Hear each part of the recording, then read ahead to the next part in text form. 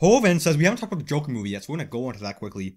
He says, "Is the actor of the Joker movie the Suicide Squad one?" So there are two spin-off Joker movies. One which is it was announced? legit too? Yeah. I thought they scrapped the. Oh, one. that's still happening. what? Why? Yeah, so I guess so. There's one not connected to the DCU. and there's this one, which is Jared Leto, so the guy from Suicide Squad. Even though he already has three other movies he's coming out in, because I heard he's coming out in the Suicide Squad two, Harley Quinn solo, no three I guess, and uh the Birds of Prey. Mm. So Oh wow. like, can we just make him a good Joker first before we put him all these movies? It's a good. That's that's a lot of. uh What is it? Chickens before the eggs hatch. Also, can we also have Man of Steel too before we have these pointless movies?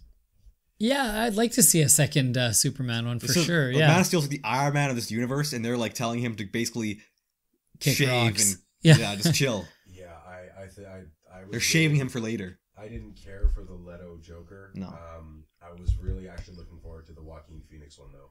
Uh, I Hmm. rewatched Gladiator, and I was like, you know what? Especially when he had his tongue out at that scene and he plays that. Weird nah, yeah, yeah. I'm like he when they're would be- redoing the Battle of Carthage. Oh, such a Yeah, great battle. Yeah, Such a great movie. it was. Yeah, yeah. Agreed. There's some good lines out of that. That that's messed up though. I don't know if Joker standalone um, one is enough. I hope they just scrap the DCU now and restart.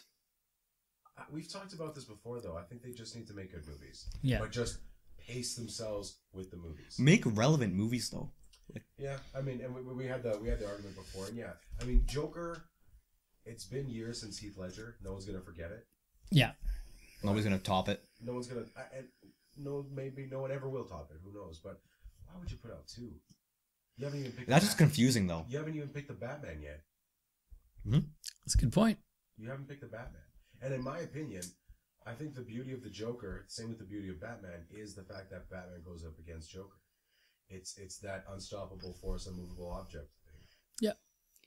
Also, adding on, so the thing I really liked about DCU was that Zack Snyder was the guy making the movies, right?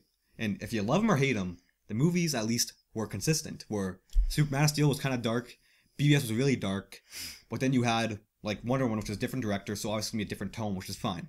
But then you had Justice League, which was a mix of both, because they kind of like told Zack Snyder that his like he had a vision, like he had all these Easter eggs planned, and like he was gonna. I saw a comparison of this deleted scene of Superman walking into some cave, like it was I think it was his solitude place. Yeah. Fortress Fortress of of Solitude. Solitude. Like from Man of Steel, the same shot where he walks in, but you know you never see it because they cut it out of the movie. Mm. So I wish I just got to see Justice League in his way, just so it could kind of end the trilogy of that he kind of set up. I less. I like Zack Snyder. also, he did confirm. So you know, I said D. Wait, you know, I said he uh that scene from Man of Steel, the fight was like DBZ inspired, like it looked like it was. Yeah. It was. It was awesome. It was. I I, really I like want him to do a DBZ movie. I really like Man of Steel. Dragon I- Ball. No, don't have him do one. Have him shoot one. Yes. Do the cinematography for and maybe choreograph it. Because I've said. I think Christopher. Nolan would be able to do a good one. No, I don't think so. With- I- he, he can't work. With Well, that no, I guess much. he'd he'd make it realistic. Yeah, he, he wouldn't be able to work with something so bombastic. Steven Spielberg.